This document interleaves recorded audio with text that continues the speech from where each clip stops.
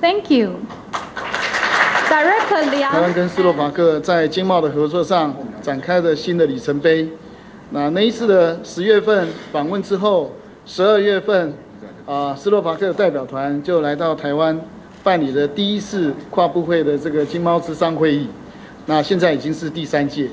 那另外的隔一年就是二零二二年，也就是去年的一月份，我们也宣布了，啊，台湾也成立了两亿美元的中东欧投资的基金，十亿美元的融资基金啊开始运作。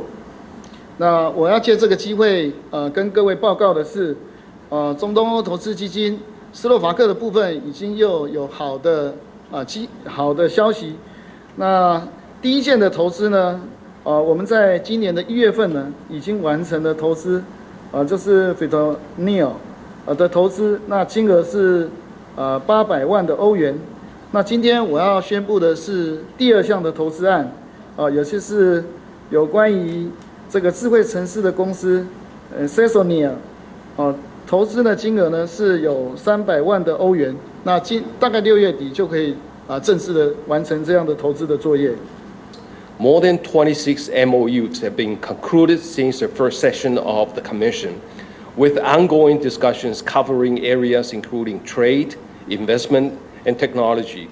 We can enhance people to people exchanges and deepen bilateral cooperation.